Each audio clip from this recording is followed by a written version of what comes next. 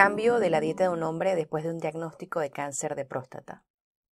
Un diagnóstico de cáncer es visto como un momento de enseñanza en medicina, donde los doctores pueden tratar de conseguir que la gente coma más saludable.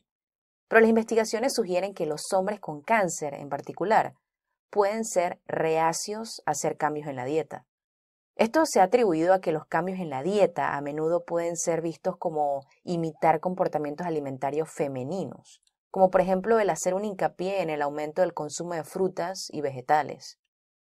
A pesar de que una alimentación saludable puede mejorar la supervivencia a largo plazo, pocos hombres con cáncer de próstata hacen cambios en la dieta para mejorar su bienestar.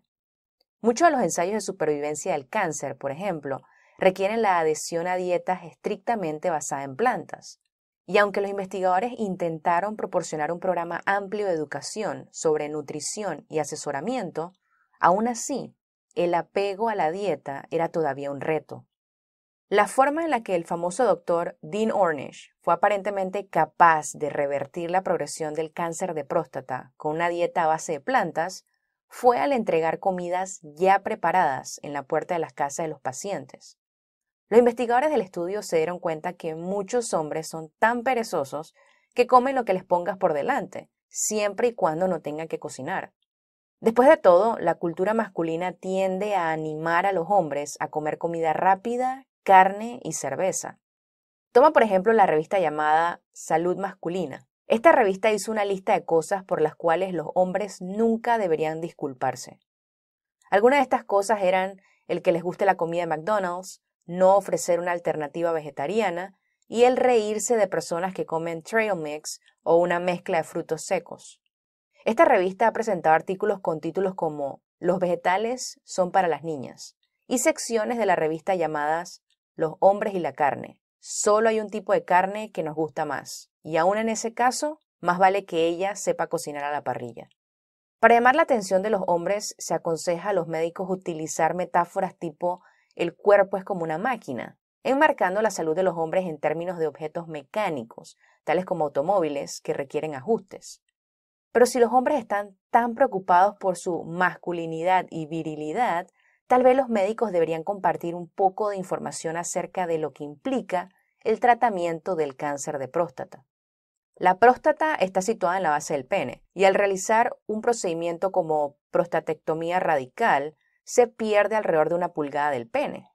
Solo el 16% de los hombres que se someten al procedimiento recuperarán el nivel de funcionamiento eréctil anterior a la cirugía. A los pacientes típicamente se les informa sobre tasas de disfunción eréctil alrededor del 60 o 70%, pero los estudios generalmente consideran la recuperación de la función eréctil como solo la capacidad de mantener una erección lo suficiente como para la penetración, aproximadamente el 50% del tiempo. Por eso, conseguir una erección de vez en cuando se considera estar recuperado. Pero cuando un cirujano le dice a un paciente que va a recuperar el funcionamiento, el paciente probablemente supone que eso significa el tipo de funcionamiento que tenía antes de la cirugía.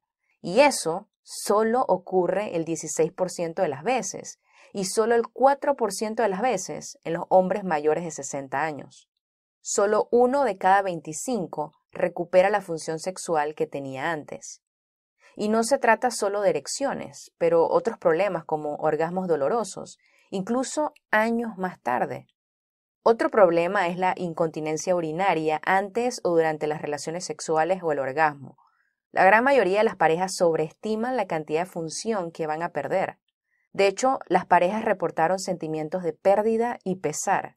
Se podría pensar que esto sería suficiente para motivar a los hombres a mejorar sus dietas, pero casi una cuarta parte de los hombres recién diagnosticados con cáncer de próstata dicen que preferirían morir temprano en lugar de vivir siguiendo una dieta que prohíbe la carne de vaca y de cerdo.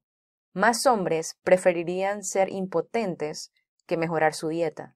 Parece que los placeres de comer carne pueden en ocasiones triunfar sobre los placeres de la carne. Así termina otro video de plantaderevolution.com. Suscríbete para nuevo contenido todos los días. Comparte este video en las redes sociales, dale me gusta y recuerda, aquí presentado no es una opinión, es ciencia.